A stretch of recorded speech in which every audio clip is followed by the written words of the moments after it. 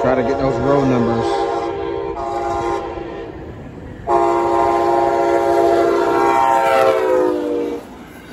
Three forty-six and three thirty-two.